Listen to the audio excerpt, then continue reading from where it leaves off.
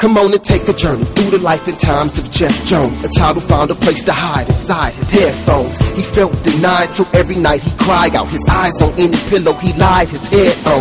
His father left home, his mom's was just gone. It made his heart as dark as his outside flesh tone. So when he got tested, of course he would explode. He saw anger as a form of expression and let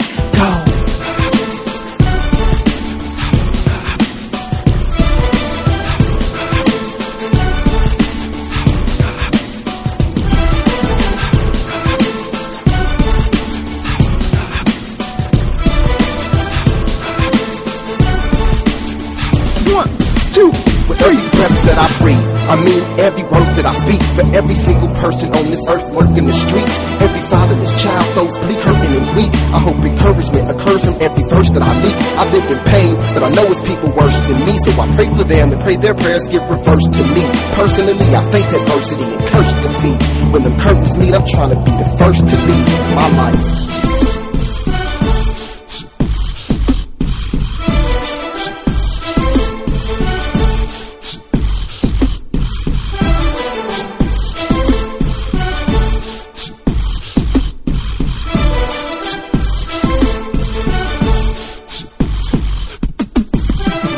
I'm finna introduce one of the sickest dudes to get within inches of a booth. This is my debut and entrance. Give me your attention, but did I forget to mention? No, the spitter is the truth. Recognition is due, cause I've been getting dues since I was.